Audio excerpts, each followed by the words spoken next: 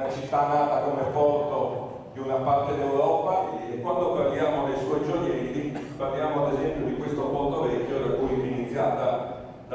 visita. Perché effettivamente non si tratta soltanto di una filiera che funziona al meglio, ma quello di creare una rete della portualità regionale che crei quella sinergia importante. La velocizzazione della rete esistente, quindi la possibilità di raggiungere nel minor tempo possibile Venezia e Tri da, Trieste come da Trieste Milano. Relativi ai primi tre mesi del 2016 confermiamo la bontà del lavoro fatto con una crescita importante, il 40% del petrolio tedesco, il 100% del petrolio austriaco e il 40% del petrolio della Repubblica Ceca, al porto di Trieste e Porto Franco che dà questa possibilità.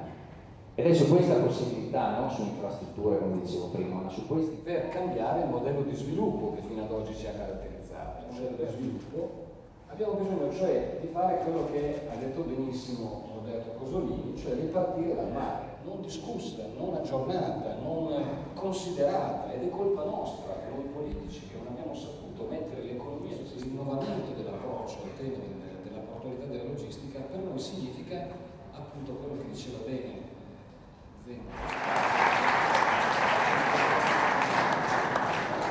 complimenti da parte del Ministro del Rio sul porto di Trieste non solo per Beh, i traffici ma anche per le sue strategie. No, devo dire una grande soddisfazione, una grande soddisfazione perché è veramente il lavoro che stiamo facendo fin dal primo giorno del mio insediamento, devo dire un lavoro che abbiamo saputo fare ancora di più e meglio con l'arrivo del commissario dell'autorità portuale e del segretario generale del porto, un lavoro di squadra insieme al sindaco Cosolini che ci ha permesso davvero di lavorare sia sul porto nuovo che sul porto vecchio e quindi le grandi opportunità per Trieste sono straordinarie. A chi chiede di poter riavere la città di Trieste del 2011, io dico che non vogliamo la città del 2011, vogliamo fermamente quella del 2016 e lavorare per quella ancora più ambiziosa che arriverà in futuro.